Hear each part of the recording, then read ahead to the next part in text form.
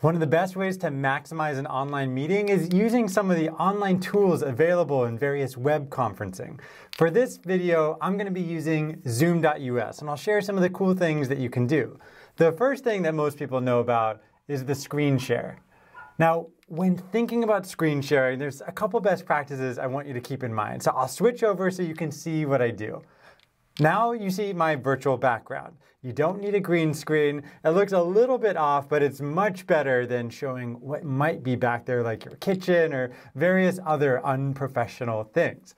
But when doing your screen share, there's some other things that you need to look out for. So at the bottom middle, you'll click on this. You have a couple options. You could share the different videos that are up, but I prefer that you just choose the window that you want them to see. The other thing to look out for is the bottom left. You'll have share computer sound. This is something that will show you the value of sharing a video or audio, and it will come through instead of you having just the sound pick up from your mic and your computer speakers. It sounds much better. The other thing that you can start using is the whiteboard or go over into the advanced settings where you could even share the content from a second camera if you want multiple angles from the one person that's showing it. So when doing screen share, the thing that I'd like you to look out for is try not to share your entire desktop. The reason why is that if your viewer is on a laptop and you're on an extended screen, everything will look way too small. And there could be some unprofessional things that you don't want them to see, like messages popping up, etc. Which brings us to another best practice, turn off your notifications. Now the way that you do this on a Mac is you just click on the top right part and you can say do not disturb and that will stay on for 24 hours. Now Windows, there's different ways and different structures on how to do it, but either way, make sure that if your messages or Slack or other things are bubbling up, you turn that off at the beginning.